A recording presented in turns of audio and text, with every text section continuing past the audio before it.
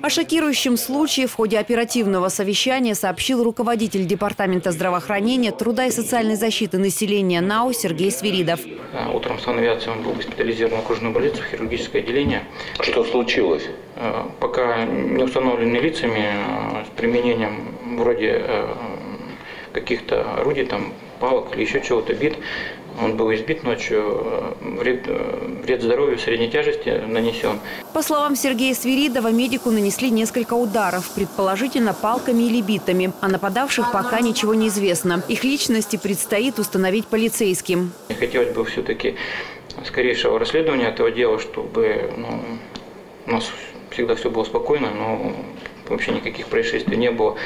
Но вот медики на селе выполняют функции скорой помощи, они посещают э, домах э, пациентов.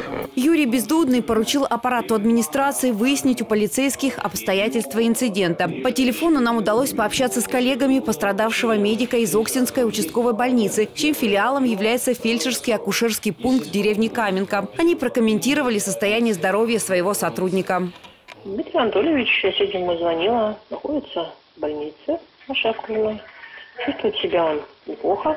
Он сказал, что в сложившейся ситуации это не телефонный разговор. На больничном будет ближайший месяц. Вместо него в Каменке буду я работать.